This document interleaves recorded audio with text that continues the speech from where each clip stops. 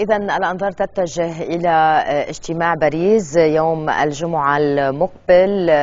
أستاذ غسان اليوم كتب كثير بالصحف عن هذا الاجتماع. زميل بجريدة النهار أيضا الكاتب السياسي راشد فايد كتب تحت عنوان ولادة زعيم أن المجتمع الدولي سيقدم يوم الجمعة إثبات واضح لمساندته الرئيس الحريري بمهمته العنيدة لإعادة لبنان إلى عافيته الاقتصادية. وكثير تحليلات قبل يعني بهالفترة اعتبرت إنه الرئيس الحريري بهذه التجربة دشن ولادة الزعيم آه، يعني خارج صحيح. عباءة والده الرئيس الشهيد آه خلينا نقول إنه بالأول بأول حكومات وكذا كانت وراثة سياسية يعني اليوم اجى بظروف كلنا بنعرفها مأساوية ولكن كانت وراثة سياسية هو ما كان محصن فيها بالخبرة نعم. والظروف المحيطة طبيعي والظروف المحيطة آه كانت. ولكن بالتمرس السياسي وبكل الأمور اللي مرت عليه أكيد وقت اجى من سنة رئيس حكومة كان مختلف عم عما سبق. اجى بمعطيات مختلفة اجى بواقعية سياسية أكبر آه اجى برؤية وبنضوج أكبر. اليوم اللي مرق عليه واللي عم نشوفه بعلاقاته الدولية وتصرفه بأي طريقة كان بحكمة وبرواق ومن دون ضجيج ومن دون إعلام ومن دون كذا عم ببين آه، بهالمطرح مش خارج عباءة بيو اليوم بين إذا بدك بيشبه بيو. يعني بالإحاطة الدولية له لبنان ما كان ممكن كان يقوم بال 92 وبال 91 لو مع علاقات الرئيس الحريري الدولية. نعم. اللي, واليوم اللي وفرت الشيء. الدعم المالي والسياسي وكل شيء.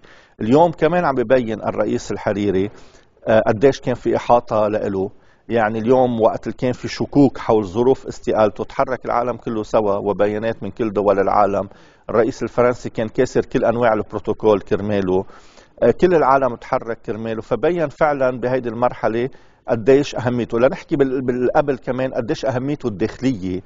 بين إنه هو طرف أساسي لا يمكن الاستغناء عنه. وقت اللي كانوا يقولوا له one way ticket ووقت اللي كانوا يقولوا له إنه زعلان يفل بين بعد مرحلة طويلة إنه ما فيهم يستغنوا عنه. هو طرف أساسي بهيدي التركيبة اللبنانية. آه، أي عضو أو عنصر من عناصرها آه، بيفتقد بتصير هيدي السيبة كلها سوا عم بتلق. فبين أنه هو حاجة وطنية. داخلية لقيام أي تركيبة سياسية واستقرار بالبلد. بين بالوقت الحاضر قديش هو فعلا كمان عم بيتعاطى بنمط مختلف مثل ما كاتب يمكن راشد ولادة زعيم على الصعيد الداخلي وعلى الصعيد الدولي.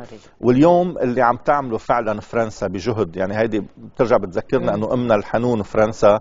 اليوم بينت فعلا امنا الحنون.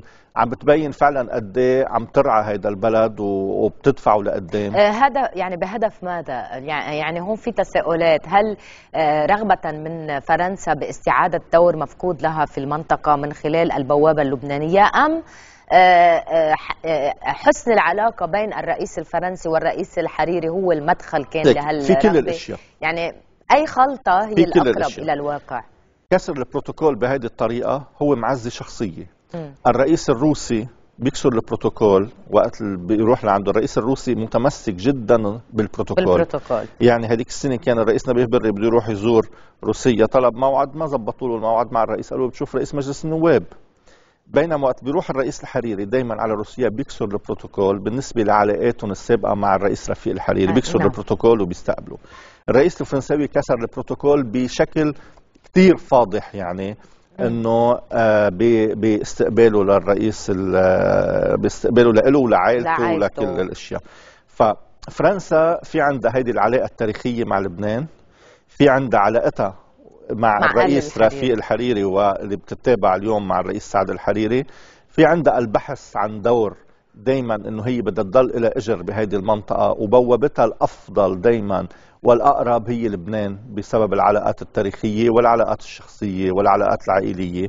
فبدها تفتش على هيدا الدور وهيدا نحن بصب بمصلحتنا لأنه فرنسا فعلا علاقتها حلوة مع لبنان دائما كانت لذيذة بهيدي العلاقة. وأنا يعني إذا بتشوفي كل سنة على عيد الاستقلال تعليقات اللبنانية على الفيسبوك وعلى كذا إنه يا ريت بترجع فرنسا بتستعمرنا. لأنه شفنا غير وصايات وشفنا غير ناس فاتوا على البلد خربوا البلد وحرقوا دينه وما خلوا شيء فيه ونهبوا كل يعني حتى اليوم بيقولوا الأشياء الحلوة بالقانون اللبناني مستوحاة من القانون نص نص الأبنية ونص المؤسسات ونص الكذا. بعدها موجودة من أيامات الفرنسوية البعثات الكبيرة إجت بأيامات الفرنسوية على لبنان. فاليوم فرنسا تركت لنا حضارة وقت الفلت. هلا أكيد مش عم نعم. نتمنى وصايه نحن بلد مستقل وكذا بس إنه إذا بتشوفي تعليقات اللبنانيين بهذا الاطار مبكي لا مش مضحك مبكي لأنه آخر شيء أنت بتعملي مقارنة بين كل الناس اللي فاتوا لعندك. ناس نهبوا البلد وحرقوا دينه وناس رغم كانوا إنه كانوا وصاية ولكن تركوا شيء شيء معقول بالبلد يعني. بهالسياق ميشيل بونجم بجريده الشرق الأوسط بيقول إن باريس كثفت اتصالاتها مع كل الأطراف المحلية الإقليمية والدولية بمن فيها إيران لحثها على العمل لبقاء لبنان خارج كرة النار المتدحرجة. قديش في هون مونة تعتقد على شغله باريس ما عم تشتغل لحالها. باريس هي الواجهة. فرنسا اليوم الرئيس ماكرون هو واجهة لغطاء دولي أوسع. يعني أنا امبارح آه يمكن الحكي بالأمانات وبالكذا كان عم بيحكي شفت الشيخ وديع الخازن كان جاي من الفاتيكان. عم بيحكي قد إيه كان في اتصالات حسيسه بالفاتيكان كرمال الوضع بلبنان وكانوا على تنسيق دايم مع الأمريكان ومع الفرنسوية. فرنسا هي بالواجهة يعني كان حتى عم أرسل موفد لطهران. إيه أكيد. فرنسا اليوم هي الواجهة ولكن وزير الخارجية الأمريكاني وقت صار اشياء خربطات بلبنان كان عم يتحرك. نعم. آه، ألمانيا كانت عم بتطلع بيان. كل الدول كانت عم تتحرك. مصر تحركت بطريقة يعني متميزة كمان. فكان في تحرك دولي لمساعدة لبنان. كانت باريس هي الواجهة. لحالها ما بتقدر تمون. خلينا نقول إنه حجمها اليوم لحالها ما بتقدر تحرك الأشياء. هي مبسوطة كمان تكون الواجهة لترجع على القليل تظهر اعلاميا بالواجهة. ولكن مثلا مجموعة الدعم هي اللي حركتها. رح نلمس نتائج اقتصادية اجتماعية أكيد قريبة رح نلمس. أكيد. أكيد. لأنه هذا مش رح يطلع بلا مساعدات للبنان. على القليل يبقى 4 5 مليارات وين آه وين يعني من المفترض أن تصب بشكل خاص بتقديرك؟ هلا بتصب أكيد بمشاريع كثير بنى تحتية. بدها تصب بدعم اللاجئين لأنه هذا الملف أنا إيه؟ بدي اوصل له بالسؤال إنه ملف النازحين السوريين كيف ممكن يتطور بالمرحلة المقبلة؟ وهل في خشية من أن يستثمر انتخابيا؟ يعني من بعد إيه؟ ما هذا الموضوع له جانبين إذا بدك. بالانتخابات ما بيفيد بشيء ما بيفيد حدا بشيء بالانتخابات. هودي عبء على البلد نعم. وأزمة للبلد وبنفس الوقت هودي حالة إنسانية. هودي كم بنفس الوقت حالة إنسانية نعم. ما فينا يعني في وجهتين نظر إنه يقوموا يفلوا على سوريا. أوكي. إيه هيدي وجهة نظر ومنطقية إنه إذا في مناطق آمنة بسوريا يقوموا يفلوا على بلدهم، بنفس الوقت ما فيك تشيليهم وتكبيهم بمطارح بعدها منا متوفرة لها ولا الحياة الطبيعية ولا الأمن ولا بتعرف وين بدهم يروحوا إذا كانوا معارضين للنظام شو بده يصير بوضعهم. هلا نحن كل الوقت بصيروا يقولوا إنه عم بيستغلوهم سياسيا ليجيبوا مساعدات على ظهرهم للبلد. وهيدا حكي كمان من ضمن الحكي تبع الاستهلاك السياسي البلطعمي اللي ما له قيمة بالبلد. إنه مين عم بيطلبوا مساعدات آه، على على على اسم النازحين السوريين وكذا. بس مزبوط. بس ما هيدا مش لنشحد عليهم.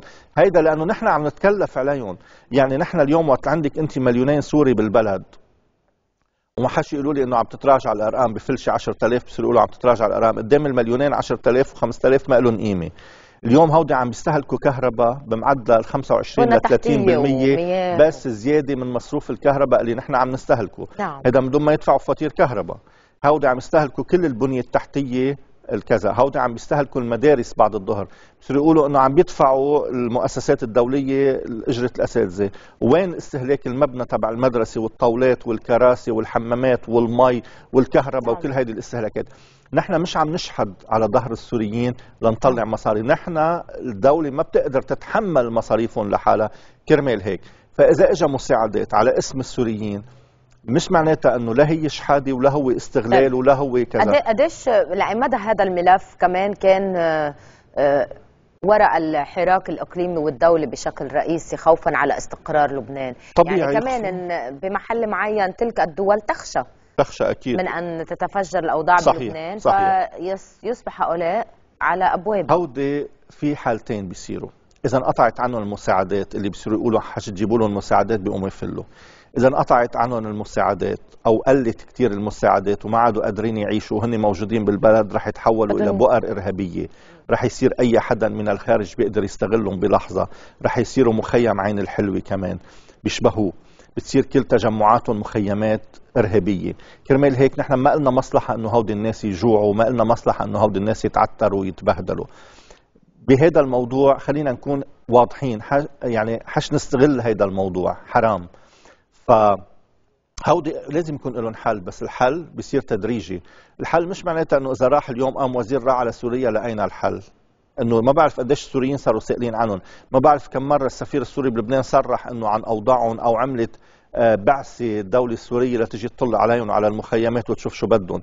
فخلص بقى إنه ما نستهلك. هودي الناس بحالة معينة نحن فرضوا علينا ما كان فينا نقول لهم لا ما فيهم يهربوا عن الحدود وتسكري الحدود كانت بوجهن مليونين واحد. نفاتوا بطريقة شرعية أو طريقة غير شرعية هن حالة قائمة بالبلد. بدها حل. مشهد الطفيل هل هو بدا يعني بسيط أحد ملامح الحو... يعني ممكن يأشر لنوع معين من الحل بالمرحلة المقبلة؟ آه منه حل إذا بدنا. يعني هيدي هيك مظاهر إعلامية. يعني مثل هذيك الجمعه وقت أخذوا الفرنسوية شي 20 واحد. راح السفير تصور معهم وصوروهم بالمطار قالوا هن أخذوا 20 لاجئ سوري. شو بيعملوا لنا ال 20 بدكم تاخذوا على القليله 200 ألف كل بلد لنقدر نحل مشكلتنا. فكرمال هيك هودي بدهم حل ولكن بدهم حل بإطار التضامن الحكومي. يكون في رؤية موحدة للتعامل معهم. ساعتها بصير في اتصال بالنظام السوري ولكن ضمن خطة. مش كل وزير بيطلع على باله أنا رايح على سوريا. إيه ما كرمال اللاجئين نحن لازم نظبط العلاقات. لا هذا حكي بلا طعمة. بعد الفاصل رح نتابع الحديث باللي كنت سألتك إياه قبل أول فاصل قصة التحالفات بضوء آه، هلأ يعني المرحلة الجديدة اللي نحن مقبلون عليها. لحظات ونعود.